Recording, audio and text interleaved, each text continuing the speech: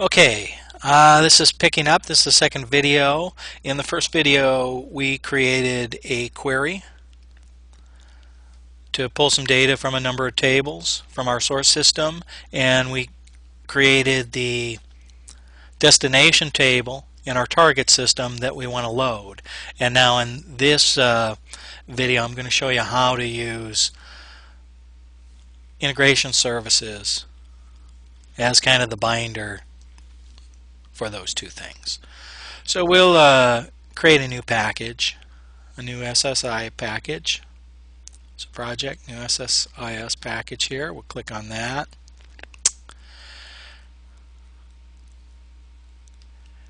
And that gives us a new package name. And what we'll do is, the default name is package 1. We'll rename it and we'll call it uh, load and then we'll give it the table name, load factbal. And it's going to ask us if we want to rename the package object as well, which we do, so we're going to say yes. Now, under we're at the control flow tab here, and so what we want to do is we're going to create a data flow task. So I'm left mouse clicking down, moving over, and releasing, and that's creating this data flow task. Now I'm going to double click on that, which is going to move me over to the data flow tab, and these are my available data flow sources. sources. We're going to use the OLEDB source and we're going to double click on this source and then this little wizard that comes up uh, we're going to create a new connection and our source system if you recall was DataBridge PC DataBridge the DataBridge database and so we're going to click OK. And then when we pull down the table or view, we have a number of selections. For this instance, we're going to click SQL command. And I already have the query that we created in the clipboard, so I'm just going to paste it in. And we'll do a quick preview.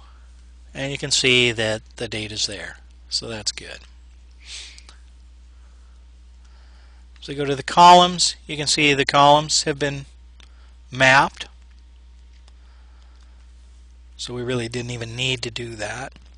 Now, before we actually create the uh, destination, I'm going to show you a, a, quick technique where you can kind of test things out and it's a temporary thing we're going to do so we're going to use this object called data reader destination so I'm going to place that onto the canvas and then I'm going to make a connection between the OLEDB source and that. And then I'm going to right mouse click on the arrow and go to Data Viewers. And under Data Viewers, I'm going to add a grid. We're going to click OK. And then OK again.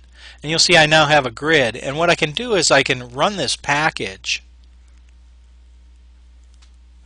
Clicking here, Start Debugging it's called. And a data grid shows up.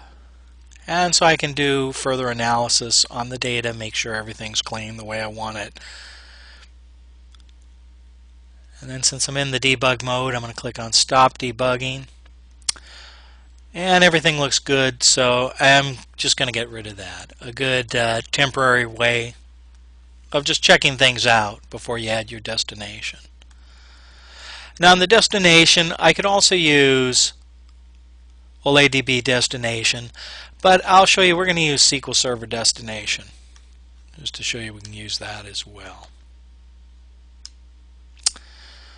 Alright, I'm going to make the connection. And then I'm going to double click on this object.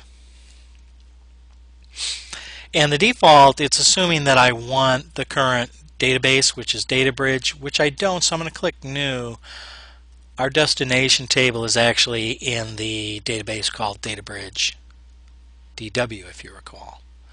So I pick that and then I can go down and select my table in view. And once I've established the connection, I can then go to mappings, and this is going to show the mapping between the source and the target. And if you notice some of the mappings,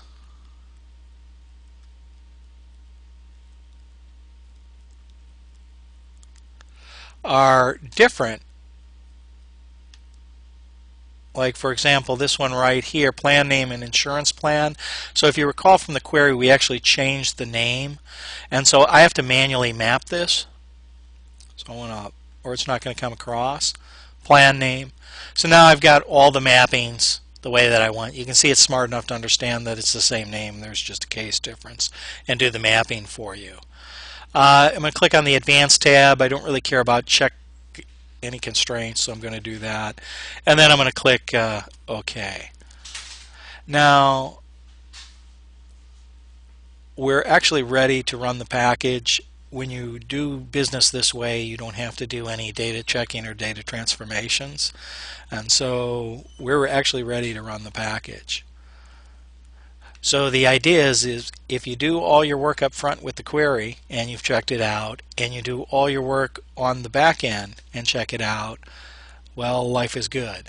And and what I mean by that is let's go in for a minute. If we right mouse click and show the advanced editor and click on the input output tab.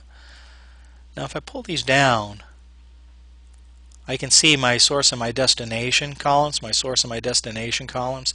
If I look at them, because I've created the queries and the tables on both end, a SQL Server, the package process or whatever you want to call it, can map the data types for me between the source and the target. And since I built the destination table based off of the source query, I'm I know that my data types are going to line up. So I click OK here. I can now run and execute the package. And there it goes. It loaded the 181 rows. I'm going to switch on over and rerun this query and I can verify that they're all there what have you and so that's pretty much all there is to the technique for doing this. Now, where this can come in handy, and again, let me just real quick stop the debugging so we can go back to the normal. And we'll just save the package so we have it saved off to disk. Now you can use this technique that I showed you to build star schemas. So if you want to build fact tables or dimensional tables and you're doing dimensional modeling, you can use this technique that I showed you. Um, the SI, SSIS tool actually has transformations for building dimensions and things like that but frankly I prefer to do it this way. I just find it a, a, lot easier to work with the SQL code on the source side and then on the target side to build have the tables already built out to do this type of transformation. Number one, it saves me a lot of extra work in having to manually do mappings and things like that. So that's pretty much all I've got for this subject, and I thank you for watching. Take care. Have a good one.